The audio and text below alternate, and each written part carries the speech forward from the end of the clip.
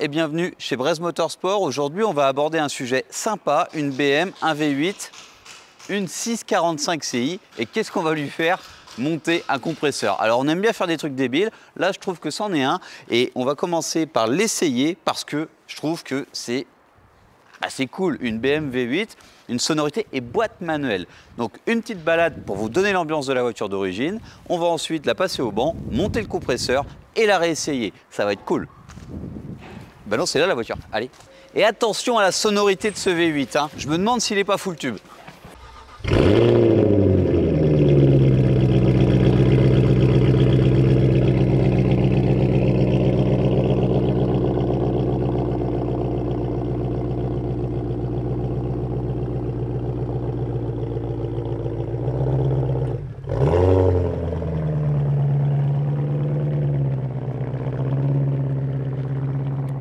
petite mise au point et j'ai même décidé d'envoyer le compresseur en balade. Je pouvais pas me... J'étais impatient. En fait, j'avais pas encore ouvert la boîte. Et, euh, et vous avez vu comme c'est balèze. Et donc, on met de la surale dans un moteur qui est déjà lui-même balèze avec euh, une boîte méca puisque c'est encore euh, bah là c'est un vrai V8 4 litres 5 et c'est marqué 45 derrière donc tout est logique ce qui est moins logique, c'est d'avoir une boîte méca dans une voiture aussi luxueuse. Je m'y attendais pas. Mais par contre, vu l'année de la voiture, je trouve que la boîte méca sera autant efficace en mode un petit peu énervé. Donc on, va l'essayer cette voiture. Mais je sais pas pourquoi elle me, plaît. Allez, on va se trouver un petit spot là pour profiter de cette voiture.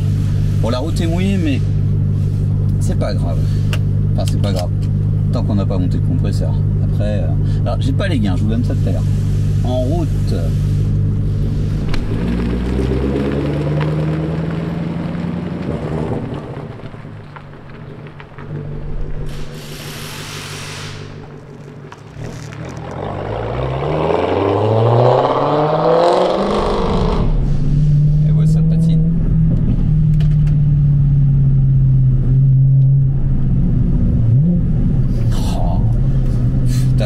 tout avec une série 6, c'est trop cool.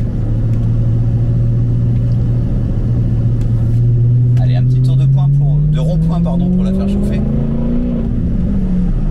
Et là on à 3000 tours. Hein. Non, ça va être cool ça, ça va être vraiment cool. Et avec le compresseur, on, on garde le côté Atmos, c'est génial.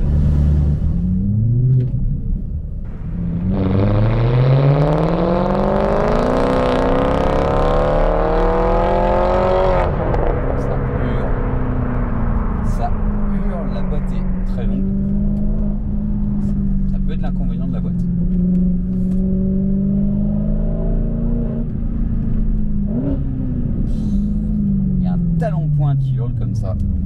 Oh, c'est génial. Alors sur le papier, ça prend un peu plus de allez, 6005 je pense au rupteur. La boîte est précise. On est en BM et en BM ça se passe bien.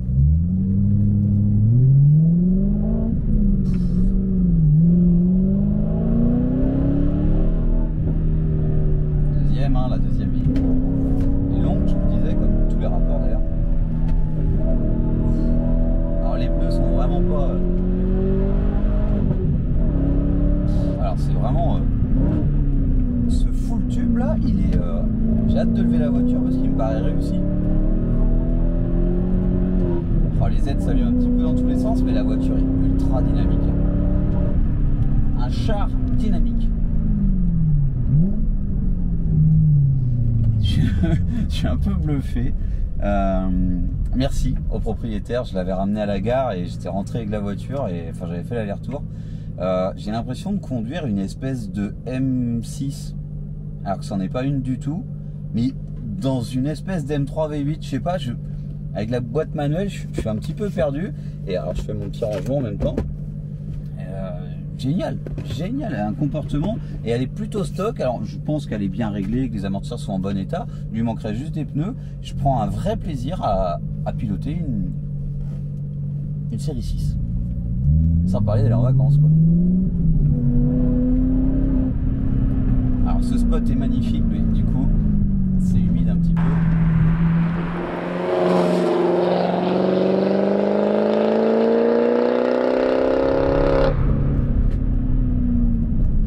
oui, j'ai envie de passer la 2 juste pour mettre un petit coup de talon pointe, mais en fait, euh, là, là la 3, elle fait tout.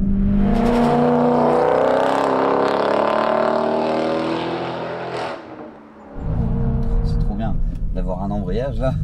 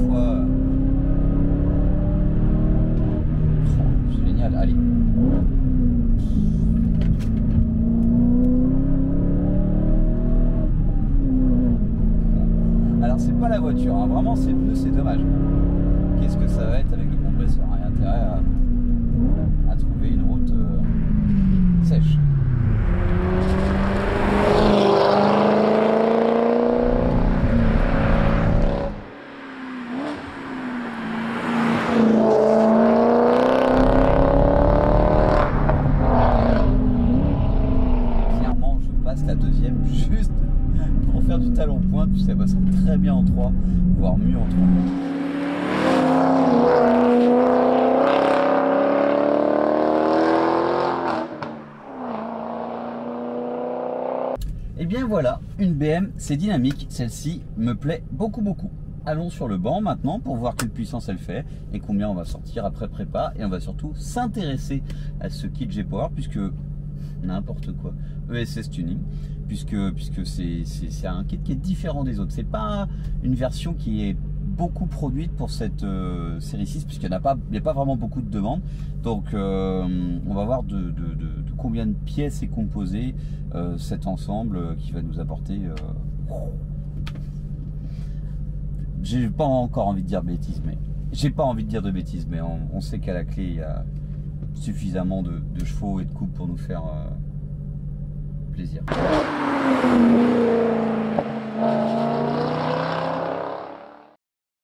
Ici, on va envoyer de la surale dans le moteur pour qu'il puisse euh, envoyer des watts. On entraîne ce compresseur par euh, cet arbre euh, claveté. on va pas tout réexpliquer. Allez voir la vidéo de la M3 92 qui est passée du G-Power au kit ESS. Je crois que c'est la même chose, c'est un G1.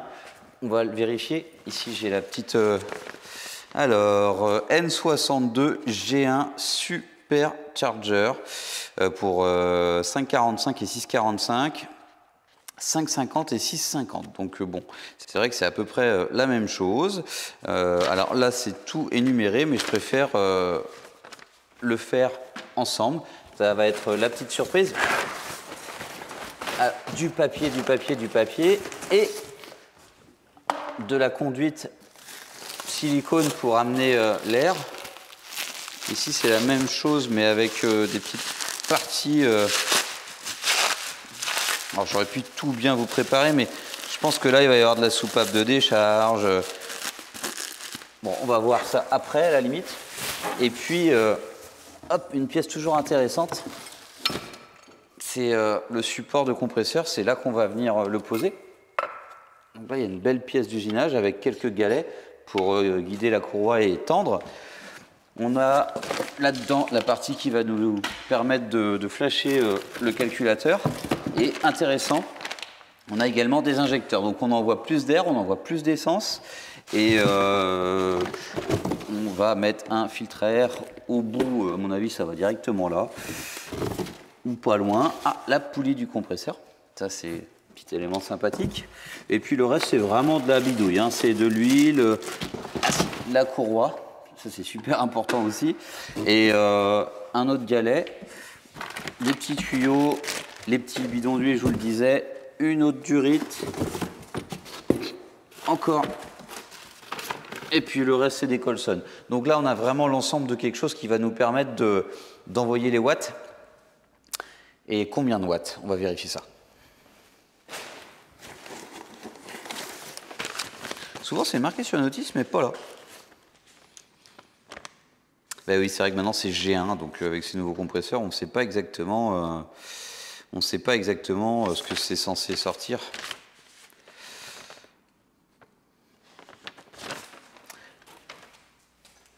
toute façon, on a un banc pour le savoir.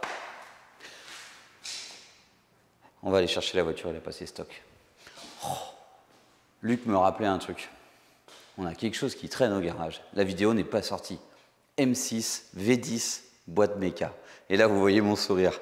Si la sonorité du V8 euh, N62 qui est sur le parking actuellement, parce que là, on a un truc qui n'a rien à voir, me plaît, je pense que le V10 boîte méca, je ne l'ai pas encore essayé. Hein. C'est un peu un truc de fou. Donc on va pas tout spoiler puisque la vidéo va sortir, mais euh, c'est peut-être l'occasion là de, de, commencer à teaser un peu le truc. Je crois que c'est unique en France. Ça a peut-être été fait, hein. j'en ai pas eu vent. J'ai hâte, de tester, j'ai hâte d'écouter.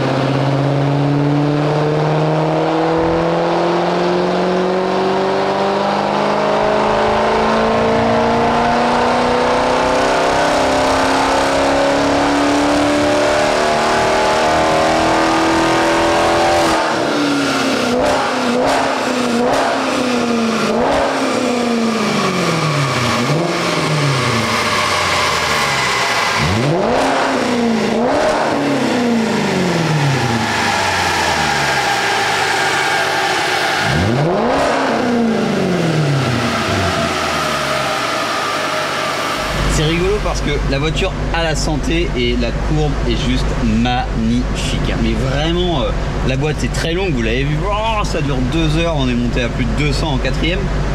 Et euh, là, on a une feuille de banc puisque le, client aime sa voiture, il a chouchoute, il a fait plein de choses euh, chez un confrère sur Paris concernant la mécanique station 95 si on dit comme ça. Et si je ne dis pas de bêtises et si ma mémoire est bonne. Bref, là, chez Shiftech, on avait 422 chevaux, euh, ce qui était honorable. Et euh, bah oui, c'est un Atmo hein, chez BM, ça sort parfois moins, souvent moins. Et, là, nous, on est qu'à 307. Donc quand, on dit que notre banc est plutôt pessimiste ou réaliste ou enfin peu importe, on est souvent un petit peu en dessous des autres quand même. Oh, cette courbe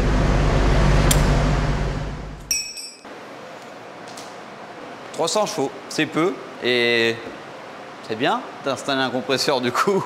On va avoir. Euh, alors même si les sensations sont géniales, hein, la courbe elle est très lisse. Je vous le disais, à la conduite, parfois vaut mieux avoir une voiture pleine tout le temps avec beaucoup d'agréments de conduite, même sonore, et finalement avec seulement 300 chevaux parce que le bébé là il doit peser quand même euh, son poids euh, et, elle se déplace bien. Hein. Franchement, je suis un vrai coup de cœur cette, cette 645 par rapport à, bien d'autres. Hein. Allez, à l'atelier, plus, plus, plus. Et je regarde. Allez, ESS Tuning. Parce qu'il y a un moment, c'est important quand même. Alors, je ne sais même pas si je vais le trouver sur le site parce que ça a été une production, une reproduction. Euh, enfin, allez, S62, bah ouais, M5 E39. E Mais alors, N62, il n'y est plus. Alors là, c'est une grosse part de mystère. Hein. Je pense que euh, le client a dû creuser, a essayé de retrouver dans les vieilles archives ou quoi, mais, euh, là, euh, non, N52, je crois qu'on va devoir se fier à notre banc. Hein. Surprise, surprise. Parfois, ça se savoure, une préparation.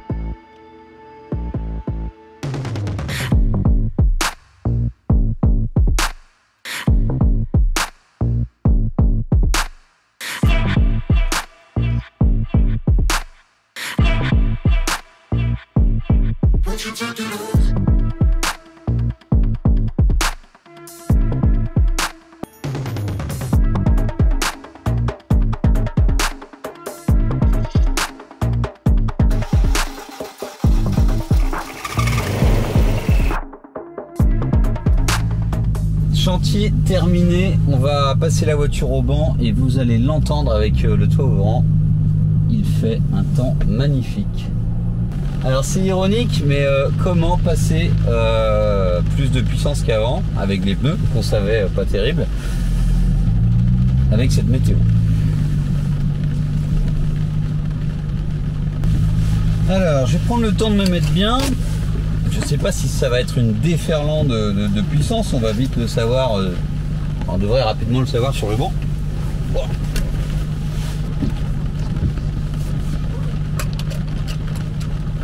J'ai envie d'être à l'aise pour essayer ça. La sonorité est un petit peu différente, on entend légèrement le compresseur mais c'est vraiment très très discret, ça fait vraiment slipper. D'ailleurs le compresseur est tout petit, pour le côté technique ça ne doit pas souffler tant que ça puisqu'on n'a pas de soupape de décharge, le, système est vraiment très basique. On a flashé avec le soft euh, d'origine de SS. Comme je vous l'ai dit, ça va pas être facile, mais tout de suite on sent qu'on a plus de watts. Et par contre c'est très très plein du coup.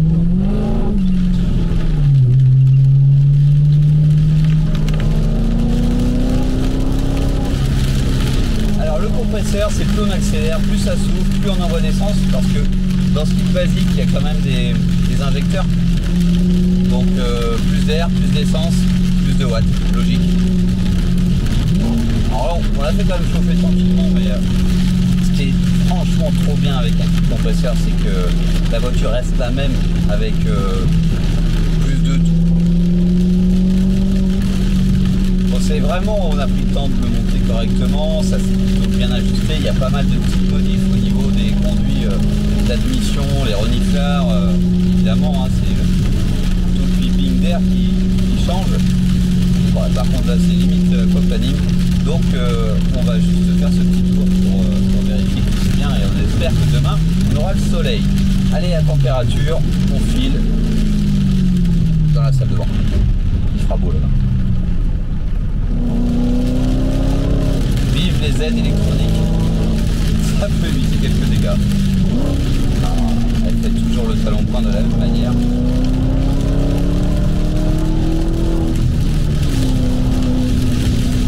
bien pleine, mais euh...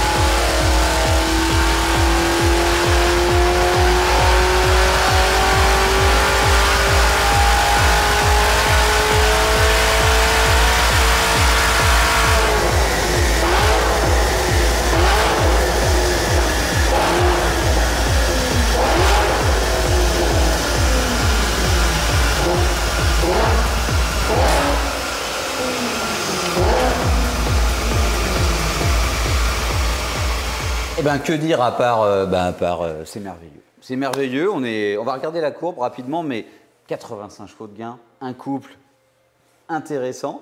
On va voir justement avec ces, courbes de puissance et de couple euh, ce qu'on a pu gagner. Mais, mais, mais, mais, voilà, c'est la même voiture en mieux. C'est ce que je vous disais.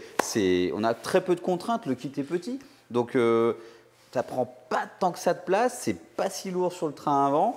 On n'a pas d'échangeur, rien du tout. C'est pas une voiture suralimentée, donc on n'a pas ces, contraintes de tempête d'admission qui augmentent, puisqu'on a fait deux tirs et deux tirs exactement avec la même puissance finale, soit 385 chevaux et 400 euh, Nm. Donc euh, on est vraiment au-dessus. Et ce que je voulais vous montrer, ce qui est hyper intéressant, ben, c'est que en fait, plus le compresseur prend de vitesse, plus ça marche. Alors, on a une voiture qui n'est pas plus violente, on n'a pas d'autobloquant, on n'a pas de pneus. Donc euh, c'est bien d'avoir une voiture qui reste fidèle à elle-même, mais la courbe reste lisse, de chez lisse, avec un max de gain. On démarre en bleu, en rouge, en orange. Ici, c'est le couple. Ici, c'est la puissance aux roues et la puissance moteur. Donc, d'ailleurs, je devrais vous enlever une partie des courbes. Hop, puissance aux roues. Je ne vais pas dire qu'on s'en fiche, mais ce n'est pas le problème. Puissance dissipée, ce n'est pas non plus ce qui nous intéresse. Donc là, c'est plus clair. On commence avec une puissance égale jusqu'à 3000 3500 tours. Et à partir de 3500 tours, ça s'énerve. Et là, vous avez la courbe d'origine qui est ici.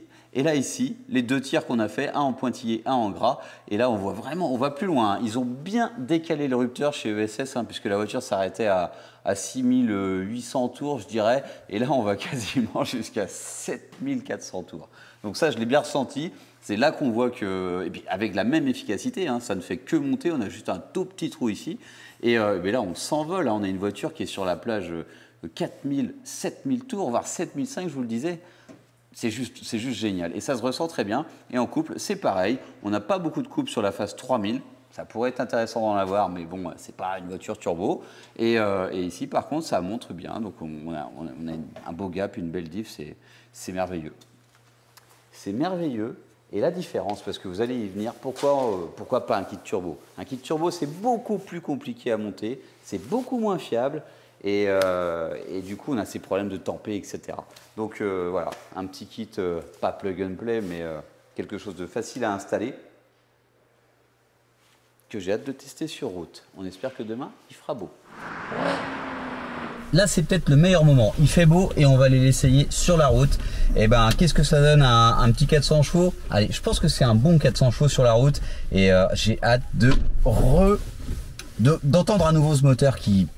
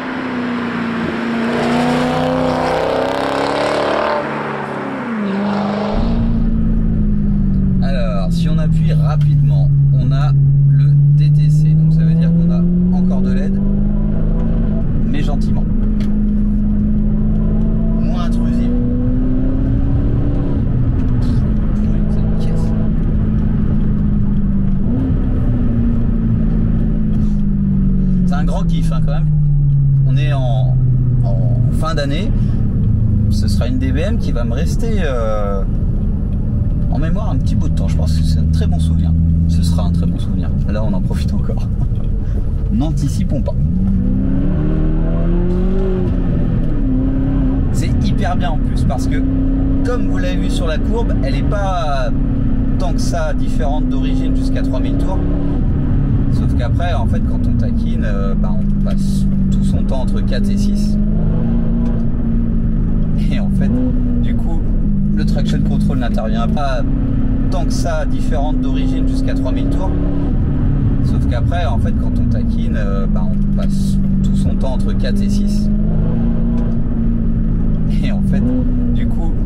traction control n'intervient pas euh, à barre GP, ça patine en 4, euh, ça, patine jusqu'à 4000 tours en quatrième avec des pneus de qualité moyenne et une route humide.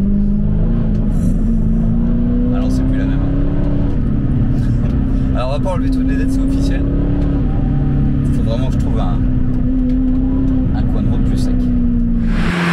La deuxième on oublie, la passer avant. Hein. Et là on a tellement de coffres passé 3000.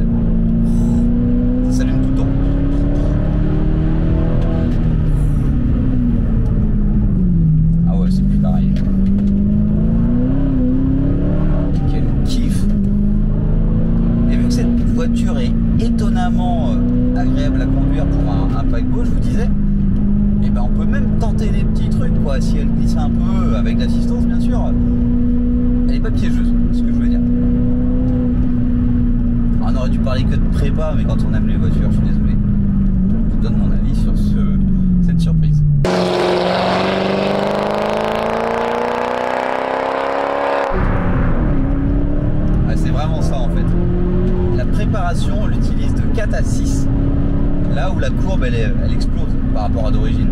Donc en fait, elle est parfaite cette prépa.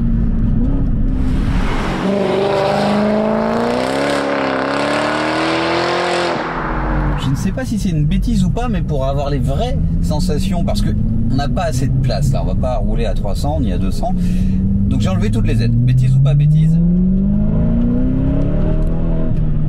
J'en sais rien, on va le voir. Mais en tout cas, il n'y a rien qui coupe en fait à l'axel, on a vraiment toute la puissance tout le temps, c'est génial. Bon, on lève le pied au lieu que la voiture coupe et on lève la puissance, ce qui est plus agréable en soi. Plus dangereux, certes, mais plus agréable. Ce talon pointe, génial. Et ça non plus, on s'y attend pas, pas dans une série 6. On dit pas, tiens, on va prendre une série 6 et on va faire du talon pointe. Jamais pensé ça.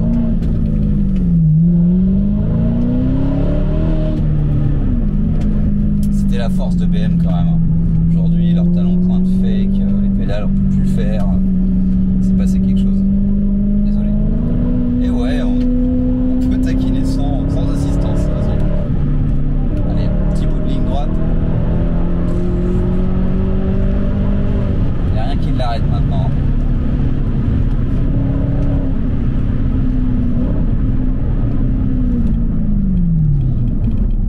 Par contre, nous, on va s'arrêter là.